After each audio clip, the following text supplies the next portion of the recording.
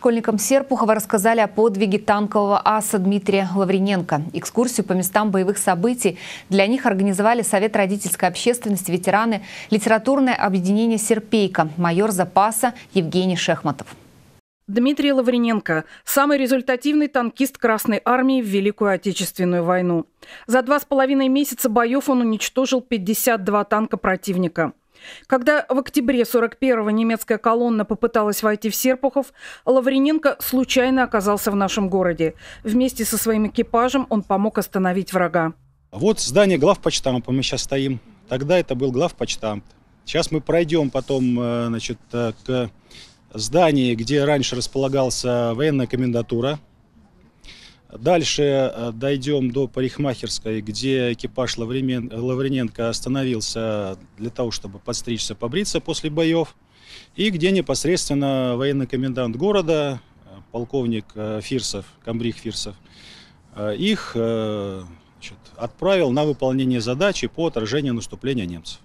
Знаменитый танковый бой проходил 19 октября 1941 года. Экскурсия проводится с 2020 года.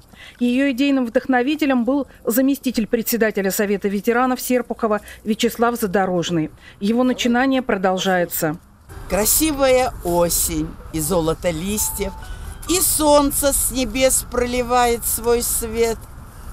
Война. Это страшное слово, как выстрел – природным красотам твердит слово «нет».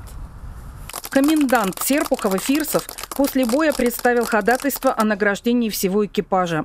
За боевые заслуги старший лейтенант Лаврененко был награжден орденом Ленина 22 декабря 1941 года посмертно. Школьники, присутствующие на экскурсии, запомнили главное. Обещали рассказать о подвиге танкиста родным и друзьям. Я сегодня узнала о героическом подвиге, который происходил в моем городе. Все, что я сегодня узнала, я буду рассказывать всем своим друзьям, подругам и своим крестным. Одним танком можно было э, разбить там по две, по три роты. Мне было интересно, и это очень важно. Надо знать своих героев, героев страны, и это очень интересно, и надо равняться на их поступках.